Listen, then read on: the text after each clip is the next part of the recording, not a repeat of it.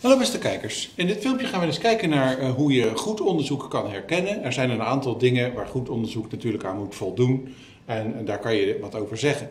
Bijvoorbeeld de mate van onzekerheid over de uitkomsten. Als er een conclusie getrokken wordt, dan uh, kan je constateren dat die conclusie wel of niet heel erg betrouwbaar is. Er kan een uh, onzekerheid in zitten en die moet de onderzoeker ook onder woorden brengen. Een significant verschil, eh, dat is een term die vaak wordt gebruikt, is een verschil wat hoogstwaarschijnlijk niet door het toeval wordt veroorzaakt. En als iets dus niet significant is, is de kans dat het eh, verschil wat je hebt gemeten door toeval komt te groot. Je kan dat uh, statistisch berekenen. Uh, bijvoorbeeld de steekproefgrootte uh, speelt daar een rol in. en dat soort parameters. En wat je dan over het algemeen moet doen, is dat je een p-waarde gaat zoeken die kleiner is dan 0,05. Dat betekent dus 95% kans dat het niet door het toeval wordt veroorzaakt, jouw verschil. En dat is dan significant. Het is nog wel eens zo dat sommige onderzoeken worden herhaald, net zolang tot het per ongeluk eens een keer 0,05 is. Dat is natuurlijk niet de bedoeling om het op die manier in te zetten. Maar uh, een goed onderzoek, dat is gewoon uh, in één keer wel of niet significant. En ook als het niet significant is, misschien zou je daar dan niet direct een publicatie uit laten volgen. Maar dat is toch ook relevant, want dan weet je dat uh, het toeval vermoedelijk een te grote rol speelt. Of dat bijvoorbeeld je steekproef te klein is en dat je uh, nog een keer met meer gegevens aan de slag zal moeten. In principe hoef je het uh, berekenen van zo'n p-waarde pas te doen als je ook biologie gaat studeren, wat natuurlijk wel een heel goed plan zou zijn. Uh, betrouwbaarheid. Er zijn eigenlijk twee soorten fouten die je in onderzoek kan maken. En dat zijn eigenlijk toevallige fouten en systematische fouten. Bij toevallige fouten kijken we echt naar betrouwbaarheid van het onderzoek.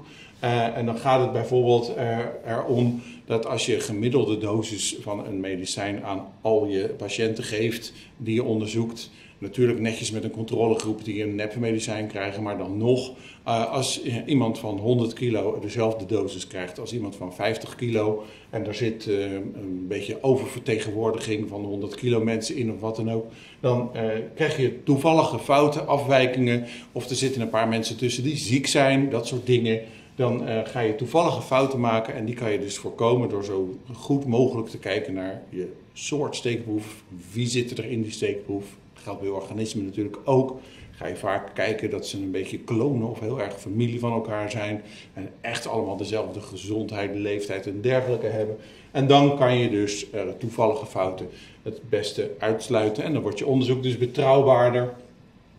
Een goede steekproef is dus belangrijk uh, en wat je dus ook soms ziet, is dat uh, bijvoorbeeld artsen soms te weinig weten over de werking van geneesmiddelen bij kinderen. Omdat kinderen nou eenmaal niet vaak als proefpersoon worden gebruikt. Heel vaak wordt er dan, uh, naar aanleiding van lichaamsgewicht vergeleken met volwassenen, wordt er een dosis van medicijnen voor kinderen vastgesteld.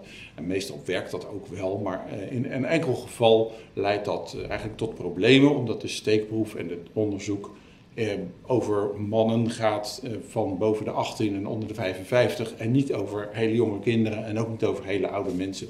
Daar moet je dus eh, goed naar kijken. De betrouwbaarheid van wat je onderzoekt hangt natuurlijk af van jouw onderzoeksobjecten. En als die geen kinderen bevatten, dan kan je niet zo goed iets over kinderen zeggen.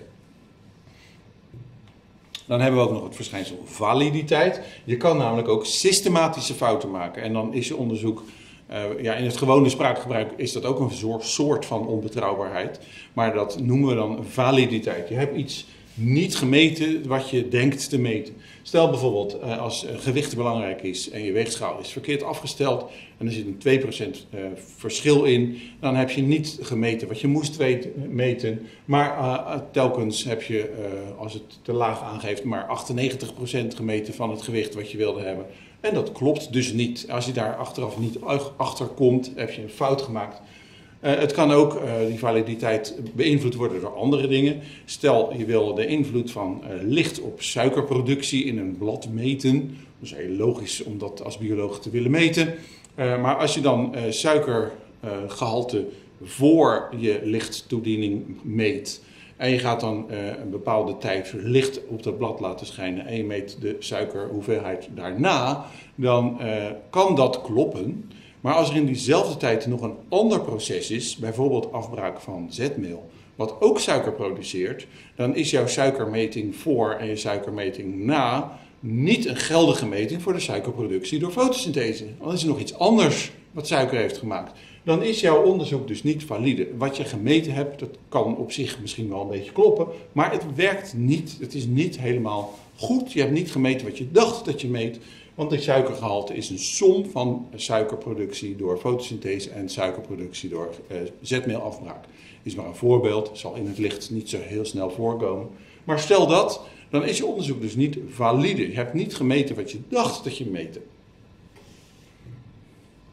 Uh, uiteindelijk, als er allerlei onderzoeken zijn, en je legt heel veel onderzoeken naast elkaar, dan gaat het in de biologie ook vaak om de vorming van theorieën.